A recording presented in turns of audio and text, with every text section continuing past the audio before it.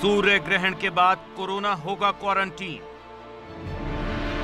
क्या दूर होगी महामारी? आपकी राशि पर कैसा होगा असर? सूर्य ग्रहण में क्या करें, क्या ना करें? इंसान और धरती के लिए कितना विनाशकारी?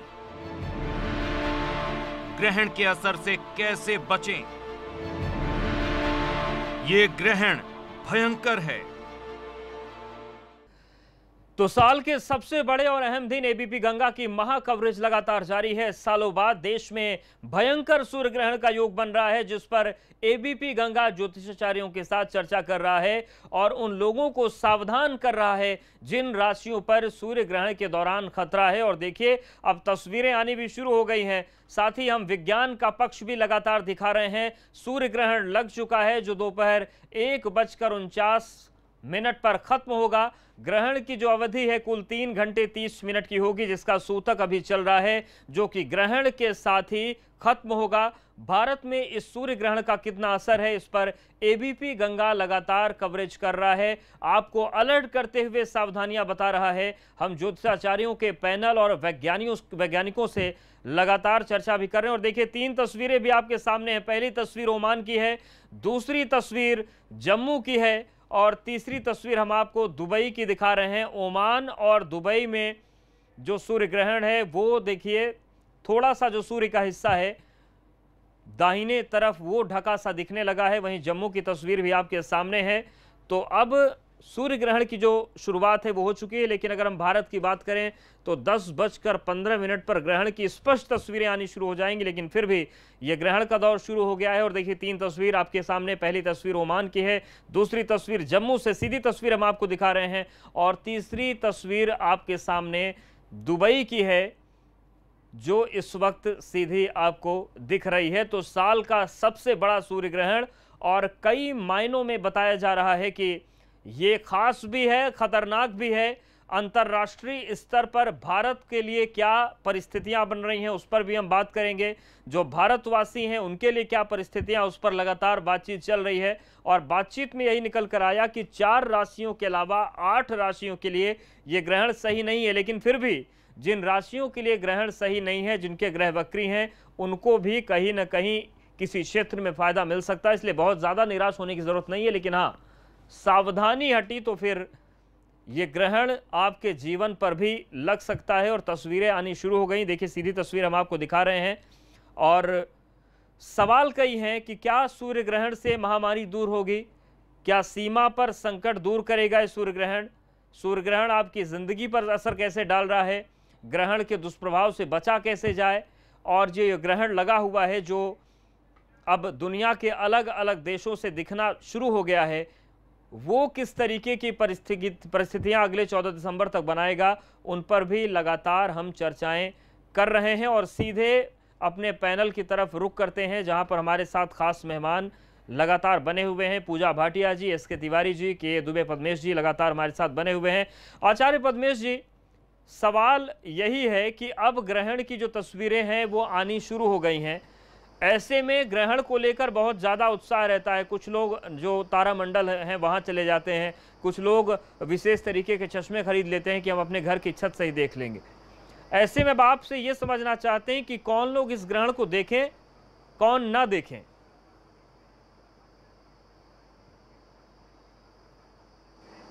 नग्न आँखों से, यानी खुली आँखों से ग्रहण को नहीं देखना चाहिए। जहाँ तक अभी प्रश्न चल रहा था कि विज्ञान और ज्योतिष का क्या आपस में रिश्ता नहीं है है? विज्ञान और अध्यात्म का समन्वय ही ज्योतिष है। विज्ञान भौतिकता को लेकर के चलता है। यद्यप विज्ञान ने अभी जो कोरोना आया, बड़े देश हैं, उन्होंने उसके लिए कहीं भी किसी प्रकार का वैज्ञानिकों ने कोई भी चीज़ ठोस नहीं निकाल पाई। जबकि हमारे देश के पंचांगकर्ताओं ने देश के जोशियों ने वर्ष के प्रारंभ में ही स्पष्ट रूप से कहा था कि कई लाख लोग इस वर्ष अकाल मृत्यु के शिकार होंगे जो ग्रह स्थितियाँ छः छः ग्रहों के साथ वर्ष का प्रारंभ है ग्रहण का प्रारंभ हुआ 26 दिसंबर का इसका दुष्परिणाम पूरे 2020 में होगा। बीमारी का नाम नहीं था लेकिन ये था या तो महामारी होगी या प्राकृतिक दुर्घटनाएँ होंगी, ये सारी चीज़ें भविष्य में, यानी दैविक और दैहिक दोनों चीज़ों पर ज्योतिष काम करता है। विज्ञान और अध्यात्म का इसीलिए उसे ये कहा जाता है कि समन्वय है। तो जो आपका प्रश्न है, उसके दृष्टि से इस पर अंकुश तो लगेगा, ग्रहण का जो प्रभाव दिखने लगा है। लेकिन सबसे बेहतर ये है कि एपीपी गंगा देखे उस पर पूरा ग्रहण का नए आँखों को खतरा रहेगा और पूरा स्पष्ट चित्र भी दिखेगा समझ में भी आएगा समझाने वाले भी हैं आपको हर चीज़ के प्रश्न का उत्तर भी मिलेगा। अगर आपको लगता है कि नहीं मुझे ग्रहण ही देखना है तो एक चांदी की थाली ले लें। पहले एक परंपरा थी चांदी की थाली में पानी भर लेते थे, फूल की थाली में पानी भर लेते थे, उस पर ग्रहण की जो छाया पड़ती थी, उसको आप देखते थे। तो इसी प्रकार से टेलीविज़न पर भी छाया का प्रभाव दिखेगा। तो टेलीविज़न पर देखना ज़्यादा सुरक्षित रहेगा। बिल्कुल। एस के तिवारी जी, सवाल ये भी है कि हमने तस्वीर दिखाई आपको हरिद्वार के हर के पेड़े की या फिर हापुड़ की बात करें, ब्रजघाट की, बड़ी संख्या में लोग गंगा स्नान करने के लिए जा रहे हैं। लेकिन कुछ राशियों पर होता है कि जिन्हें बिल्कुल ग्रहण नहीं देखना है। तो जिन लोगों को नहीं देखना है वो गंगा स्नान करने जाएँगे। गलती से ग्रहण दिख गया तो तो क्या ऐसे लोगों को बिल्कुल बाहर नहीं निकलना चाहिए निकल सकते हैं?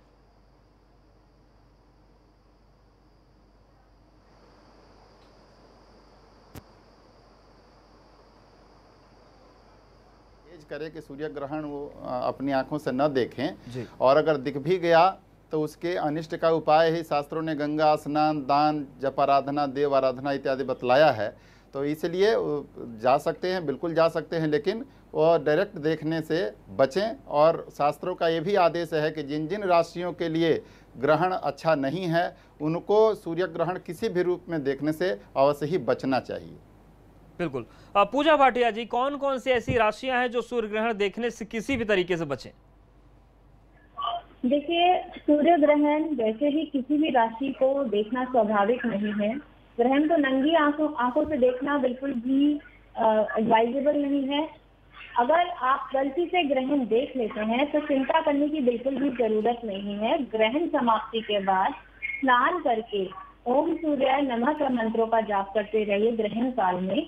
और बाद में आप अनाज आदि दान कर सकते हैं, लाल कपड़ा दान कर सकते हैं, लाल फल फ्रूट दान कर सकते हैं।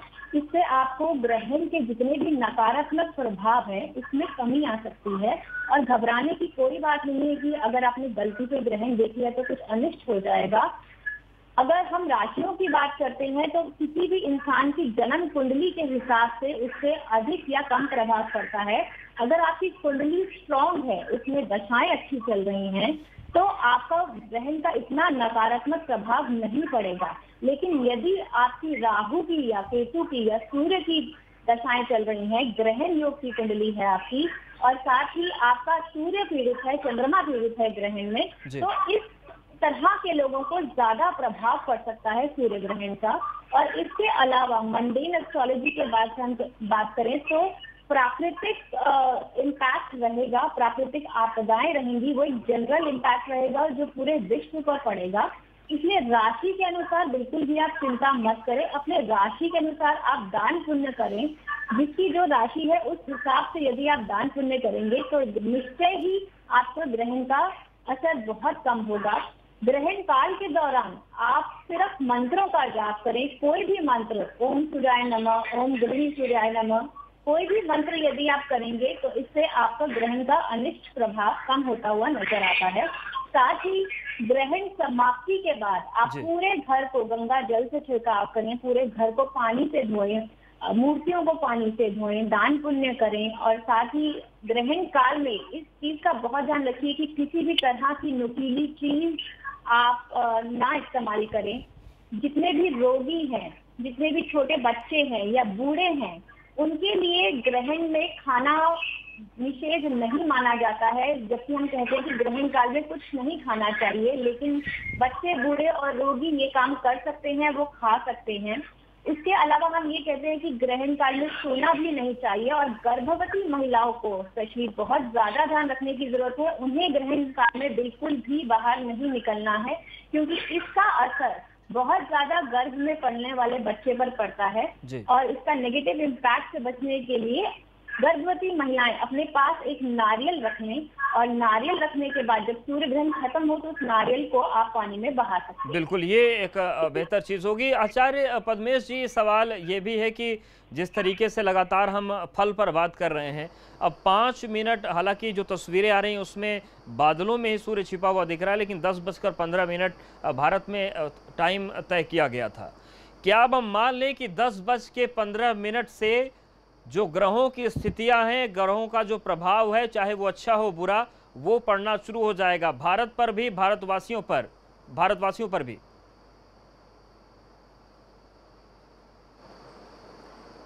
बदली के कारण से ग्रहण का प्रभाव कम नहीं हो जाएगा। उत्तर प्रदेश में सबसे पहले सहारनपुर के क्षेत्र में ग्रहण दिखना चाहिए। ऐसा वैज्ञानिक भी मानते हैं ऐसा ज्योतिषी भी मानते हैं। जी। और सीधा सीधा है कि जैसे बदली है और बदली के होने के बाद भी, भी आप कहीं भी सूरजमुखी का जो पौधा देखेंगे जी। तो उसका झुकाव एकदम नीचे की तरफ़ हो जाएगा। दस बजकर के पंद्रह मिनट से लेकर के एक बजकर के उनचास मिनट तक के कालखंड में सूर्य का प्रभाव उस पर नहीं पड़ेगा जिसके कारण से जबकि अन्य दिनों की बदली में उसका झुकाव सूरज की तरफ़ ही रहता है जैसे जैसे सूरज जिस जिस दिशा में रहता है उस उस तरफ़ उसका पुष्प घूमता रहता है। ऐसे जब चंद्रमा का ग्रहण पड़ता है तो कुमुदनी का पौधा होता है। कुमुदनी का पौधा एकदम मुरझा जाता है जिस समय ग्रहण पड़ता और जब ग्रहण समाप्त हो जाता तो फिर से खिल जाता चंद्रमा के प्रकाश। से इसलिए का कुमुदनी जलहर बसे चंदा बसे आकाश जो जाही को भावता सो ताही के पास। तो इस प्रकार से प्रकृति पर जब इसका प्रभाव पड़ता है तो मनुष्य उससे कैसे अछूता रह सकता? है इसीलिए मेरा आचार्य प्रभाव पड़ेगा। मेरा सवाल ये था कि उसके दस बजकर पंद्रह मिनट से जो ग्रहण लग रहा है हमने भारतवर्ष की कुंडली पर भी बात की थी। चाइना से किस तरीके के हालात बने हैं वो हमने देखा और आप लोगों ने बताया भी था कि ये ग्रहण चाइना के लिए अच्छा नहीं है। तो क्या हम मान सकते हैं कि दस बज के पंद्रह मिनट से चाइना का खराब वक्त शुरू और भारत का अच्छा वक्त शुरू? एकदम। आप देखिए कि जैसे जैसे ग्रहण नज़दीक आता रहे जैसे कल भी अमावस्या का जो पर्व था तो अमावस्या आज है, कल भी थी। कल जो थी, वो पूजन की अमावस्या थी, आज जो है श्राद्ध और ग्रहण की अमावस्या है। तो कल आप देखिए धीरे धीरे धीरे धीरे चाइना भी अपने तमाम सारे चीज़ों को नकारने लगा। जिससे उसकी झूठ बोलने की जो प्रवृत्ति है वो सामने आने लगी। दुनिया के तमाम सारे देशों पर उसकी जो है झूठेपन की जो कलई है खुलने लगी। भारत का प्रभाव ये कि एक सौ चौरासी वोट भारत के सदस्यता के लिए मिले। आठ वोट खाली उसको नहीं मिले। एक सौ बानवे में से एक सौ चौरासी वोट मिलना देशों के। ये भारत की प्रगति का संकेत है। जी। तो भारत के लिए कहीं न कहीं ये महत्वपूर्ण होगा। और चाइना के लिए, हमारे पड़ोसियों के लिए, भले ही उनके मन में हमारे प्रति विष रहे, बना रहे विष, लेकिन ऐसा नहीं है कि वो हमको बहुत कुछ नुकसान पहुँचा सकते हैं। उनको आर्थिक, सामाजिक और तरह तरह की परेशानियों का सामना करना पड़ेगा। बिल्कुल। एस के तिवारी जी, चीन के साथ साथ नेपाल भी एक नई चुनौती बना है। तो अगर हम भारत की कुंडली की बात करें तो ये जो ग्रहण अब ग्रहण का काल शुरू हो गया, दस बज के पंद्रह मिनट हो भी गए हैं। यही समय निर्धारित था भारत में ग्रहण का और जो सबसे बड़ा और खतरनाक सूर्य ग्रहण माना जा रहा है। तो क्या खतरा नेपाल के लिए बढ़ रहा है? क्योंकि आप लोगों ने बताया था कि भारत की कुंडली मज़बूत है और सूर्य ग्रहण का असर जो हमसे दुश्मनी पाल के बैठे पड़ोसी देश हैं, उन पर बड़ा खतरनाक साबित होने जा रहा है।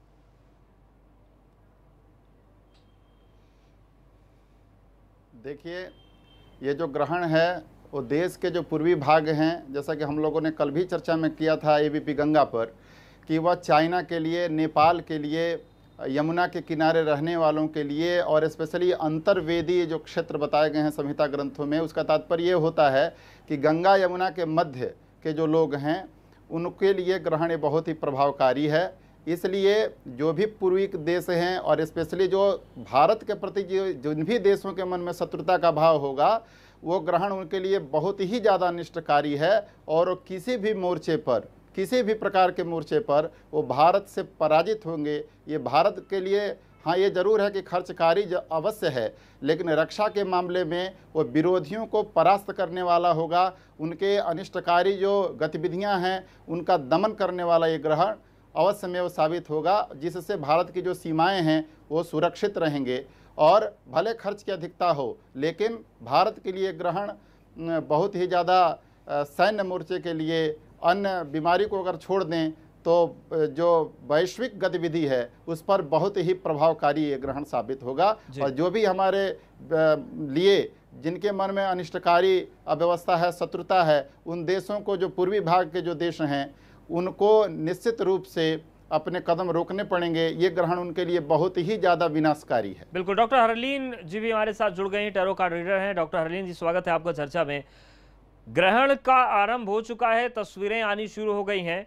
अब आप टेरो कार्ड्स अगर आप निकालेंगे तो क्या कुछ कह रहे हैं टेरो कार्ड्स? भारत के बारे में और भारतवासियों के बारे में? जी भारत के बारे में तो चलिए, थोड़े दिन का और लाइक अभी हमें वेट करने की ज़रूरत है, ये कोरोना भी जाएगा और ये प्रॉब्लम जाएँगे, कुछ दिन और। जैसे कि बोला जाता है कि सूर्य ग्रहण के बाद पंद्रह दिन का तो असर रहता ही है और फिर उसके बाद एक और ग्रहण है। थोड़ा सा कष्टकारी समय है। भारत के लिए भी भारतवासियों के लिए भी प्रॉब्लम्स आएँगी बट वो चली जाएँगी। तो ये एक इम्पोर्टेंट पार्ट है। तो आज मैं थोड़ा सा राशियों के हिसाब से भी बता दूँगी कि हेल्थ रिलेटेड किन किन चीज़ों का ध्यान रखने की ज़रूरत है बिकॉज़ सन रेज से हेल्थ पे असर तो ज़रूर पड़ता है इमोशंस पे असर पड़ता है मेंटली लाइक like, जो आप आप देखते हैं सोच पे विचार पे ब्रेन पे असर पड़ता है ग्रहण का। तो अगर राशियों की बात करें तो मैं राशियों का बता देती हूँ दो तीन राशियों का पहले। मेष का एरिस का बताती हूँ थोड़ा सा हेड रिलेटेड आईज रिलेटेड ध्यान रखने की ज़रूरत है वहाँ पर थोड़ी सी टेंशन है बिकॉज़ अगर सर दर्द होगा तो इमोशंस टेंशन इनमें बहुत ज़्यादा बढ़ोतरी होती है तो वृषभ राशि टोरस के लिए थ्रोट में ईयर्स में या नोज़ में कहीं ना कहीं कुछ प्रॉब्लम होने के चांसेस है। मिथुन जेमिनाई के लिए शोल्डर्स से या आर्म्स में प्रॉब्लम हो सकती है तो ये कहीं चोट लगने बिल्कुल मिथुन के बाद और राशियों की बात करेंगे डॉक्टर हरलीन जी। आचार्य पद्मेश जी अभी चर्चा में आचार्य संजय वासुदेव जुड़े थे उन्होंने कहा था कि जो ग्रहण की स्थितियाँ बन रही हैं ये जो देश को चलाने वाले बड़े बड़े लोग हैं जो बड़ी हस्तियाँ हैं उनके लिए भी अच्छा नहीं क्या ऐसे योग बन रहे हैं? इन्हें सतर्क रहने की ज़रूरत है। भारत की जो स्वतंत्र भारत के लग्न है वो ब्रश है। अभी शुक्रस्त है। शुक्रस्त केवल 25 तारीख तक है। पच्चीस से शुक्र मार्गी हो जाएगा। और चंद्रमा में शनि की दशा चल रही है। चंद्रमा लोकतंत्र का कारक है और शनि जो है जनता का कारक है। जनता पर नियंत्रण करने की क्षमता है न्याय का कारक है। ऐसी स्थिति में देश के तमाम राजनीतिक व्यक्तियों के लिए कोई बहुत बड़ा संकट नहीं है। जी। लेकिन कई लोगों को जो सामान्य बीमारियों से आयु के सीमा पर पहुँच गए उन्हें अपने स्वास्थ्य के प्रति सचेत रहने की आवश्यकता है। बृहस्पति भी परिवर्तित हो जाएगा उनतीस तारीख को, यानी बकरी बृहस्पति 18 सितंबर तक रहेगा और 20 नवंबर को फिर से वो मकर राशि में पहुँचेगा यहाँ ये केतु के साथ आ जाएगा और केतु के साथ 18 सितंबर तक का जो समय होगा, वो थोड़ा सा धार्मिक पर्वत के लोगों के लिए भी, राजनैतिक लोगों के लिए भी सावधानी रखने की आवश्यकता है। बड़बोले से उन्हें बचना चाहिए और अपने स्वास्थ्य के प्रति भी सचेत रहने की आवश्यकता है। जी। आ, मतलब क्या ये माने कि जो बड़े बड़े संत या जो आ, आ, जो संत हैं जो सियासत में आ चुके हैं चाहे मेन स्ट्रीम हो या फिर सियासी उनकी महत्वाकांक्षाएँ हैं उन्हें बहुत बच कर चलने की ज़रूरत है। हाँ कम से कम वाणी पर संयम रखें और ऐसा कुछ स्टेट बन न दे ऐसे ही कुछ भाषा का प्रयोग न करें जो उनके लिए हितकर न हो समाज के लिए हितकर नहीं हो मर्यादाओं का ज़रूर पालन करें। इन दिनों में तमाम मठों में तमाम जगह पर विवाद की भी स्थितियाँ आएँगी। तमाम सारी खास तौर से सितंबर तक का जो पीरियड है जब तक केतु और बृहस्पति की युति रहेगी तब ये तमाम प्रकार की समस्याएँ उत्पन्न होंगी। कहीं मंदिरों को लेकर के हो गए कहीं दूसरे धार्मिक मामलों को लेकर के होगी कहीं संपत्ति को लेकर के। संपत्ति के विवाद इस ग्रहण के कारण बहुत बढ़ेंगे और संपत्ति के कारण से दुर्घटनाएँ भी बहुत होंगी। कई लोगों के लिए जिनकी खास तौर से वृश्चिक लग्न वृश्चिक राशि है उन्हें विशेष रूप से संपत्ति के मामले में सचेत रहने सचेत की रहने की ज़रूरत है और भारत की कोई संपत्ति कैसे बढ़ेगी? जो लोकल फॉर वोकल की बात कही जा रही है क्या उसके लिए अच्छा योग दिख रहा है उस पर भी बात करेंगे और चर्चा के बाद प्रोफेसर प्रभाकर और आचार्य संजय वासुदेव का भी रुख करेंगे उनसे भी जानेंगे ग्रहण की स्थितियों के बारे में। लेकिन यहाँ पर वक्त एक बहुत छोटे से ब्रेक का है फ़ौरन हाजिर होते हैं।